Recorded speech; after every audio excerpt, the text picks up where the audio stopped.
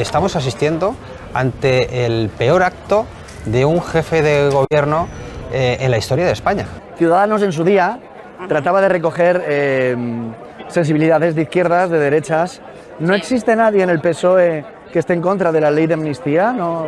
Yo creo que sí, mira, precisamente, a ver, trataba y trata, ¿eh? trataba y trata, porque ahí seguimos intentando precisamente aglutinar este espacio de centro donde personas de derechas y de izquierdas, pero sobre todo personas buenas y decentes que aman a su país y a su comunidad, pueden expresar alto y claro lo que quieren. Entonces, por ejemplo, un ejemplo de lo que está pasando hoy aquí en esta plaza y en muchos ayuntamientos. Había convocada una, una protesta pacífica pero contundente contra lo que llaman amnistía y que en realidad más que amnistía es eh, condenar, es una condena para todas las personas que hemos defendido la libertad, la legalidad, un hombre, un voto, una persona, los mismos deberes y derechos que otras, es condenar a todos los que hemos creído en la ley en España a, pues a, un, a, un, a, un, permanente vivir bajo la bota del independentismo. Y a sentirnos delincuentes nosotros, ¿no? los que defendemos la libertad y la...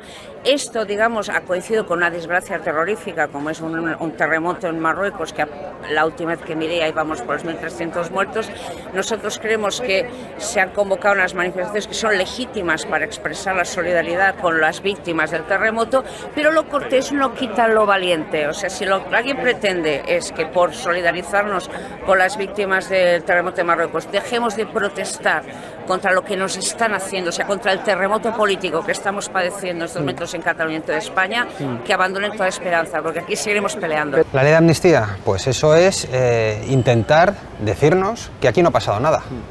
Después de lo que hemos sufrido, sobre todo los catalanes, todos los españoles, pero sobre todo los catalanes, que no somos separatistas, lo que hemos sufrido aquí durante tantos años. Tú estuviste en Hipercor y sobreviviste a ETA. Ah, exactamente. Soy un superviviente de, de ETA, de los que están blanqueando los felones que tenemos en el gobierno de España. Bueno, incluso para salir, para sobrevivir, tuviste que arrastrarte. Sí, sí, por supuesto. Tuvimos que arrastrar igual que se están arrastrando los dirigentes actuales del gobierno para poder seguir en la Moncloa y poder seguir en el Falco. Y esto creo que es absolutamente grave, es un insulto, es un insulto no solo a los españoles, es un insulto a la inteligencia y es un insulto a toda Europa que ve con estupor cómo en España siguen ocurriendo lo que no ocurre en ningún lugar del mundo. Porque esto no es que no ocurra en Europa, no ocurre en ningún lugar del mundo. Yo lo veo positivo, puede ayudar a la concordia y a la convivencia en nuestro país, se ha de hacer bien, se ha de hacer Pero hay muchas voces socialistas. Bueno, hay voces que no lo acaban de ver. pero, Felipe González, pero aquí en Cataluña, yo hablo sobre todo desde el socialismo catalán, se han hablado Montilla, ha hablado Salvador Illa, positivamente, porque yo creo que para Cataluña, si, si, se hace bien, puede ser un paso adelante hacia la concordia. La amnistía, precisa, eh, primero, no cabe en la Constitución y en segundo lugar es ilegal hacer una amnistía actualmente y en democracia. Por tanto, no sé a qué viene ahora lo de la amnistía. Sí, sabemos por qué lo de la amnistía, para darle pábulo a todos estos que eh, dieron un golpe de Estado de 8 segundos aquí en Cataluña. Yo me río mucho cuando oigo a Guerra, a Lambán, a Paje, que está muy bien lo que dicen, pero luego no hacen nada. Esto es inadmisible, debería haber, en el Partido Socialista debería haber no voy a decir un golpe de Estado, pero sí debería haber un puñetazo en la mesa diciendo esto es inadmisible, no se puede ni siquiera plantear. Y eso no ocurre, lo ven todos como los ojos. Entonces tienen que poner de, poner de forma expresa que no lo volverán a hacer. Y aquí esto, no... esto, esto sería lo ideal, pero aunque lo dijeran, podrían volverlo a hacer. Pero yo me cuesta de imaginar que lo lleguen a decir, ¿eh? Pero lo, lo único que yo creo que se tiene que conseguir es que no digan lo contrario.